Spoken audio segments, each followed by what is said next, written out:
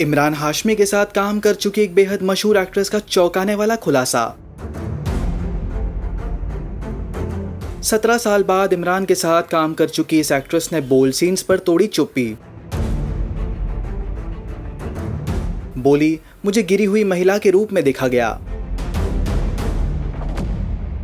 वेली actress है मल्लिका शेरावत, जिन्होंने कई फ़िल्मों में अपने बोल्ड अंदाज के लिए काफ़ी सुर्खियाँ बटोरी है।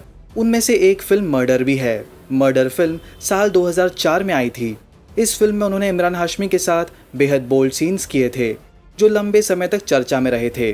अब फ़िल्म के 17 साल गुजर जाने के बाद मल्लिका शेरावत ने बोल्ड सीन्स को लेकर चुप्पी तोड़ी है। टाइम्स ऑफ़ इंडिया को दिए इंटरव्यू में मल्लिका शेरावत ने 17 साल बाद कहा कि फ़िल्म में बोल्ड सीन करने के बाद लोगों ने उनकी लगभग नैतिक तौर से हत्या कर दी थी। मल्लिका शेरावत ने इंटरव्यू में कहा, जब मैंने साल 2004 मर्डर फ़िल्म में अभिनय किया इस फ़िल्म में मेरे सीन को देखने के बाद लोगों ने मेरी लगभग नैतिक रूप से हत्या कर दी थी। मुझे हर जगह गिरी हुई महिला के रूप में देखा गया था। वर्तमान समय की बात करूँ, जो चीज़ें मैंने पहले की थी, वो अब के समय में बिल्कुल नॉर्मल हो गई हैं। अब लोगों का फ़िल्म देखने का नज़रिया बदल गया है। हमारा सिनेमा भी बदल गया है। मल्लिका शेरावत ने अपनी फ़िल्मों में किरदारों को लेकर भी रिएक्शन दिया है।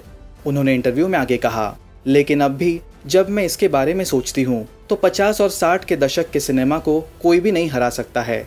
उस समय महिलाओं के लिए हमारे पास अद्भुत भूमिकाएँ थी, लेकिन हमारी फ़िल्मों में उस सुंदरता की बड़े पैमाने पर कमी थी। मैंने ऐसी भूमिकाएँ पाने के लिए सालों तक इंतज़ार किया है, जिसका कोई मतलब हो।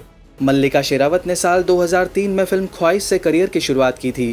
पहली फ़िल्म में उन्होंने बेहद बोल्ड सीन्स दिए थे। इसके बाद उन्होंने साल 2004 में फ़िल्म मर्डर में भी कई बोल्ड सीन किए थे। जिसके बाद दर्शकों का उनको लेकर नज़रिया ही बदल गया था। अब सत्रह साल बाद मल्लिका ने अपनी बात रखी है। उनके इस कन्फेशन पर आपके क्या रिएक्शंस हैं? पोस्ट करिए अपने कमेंट्स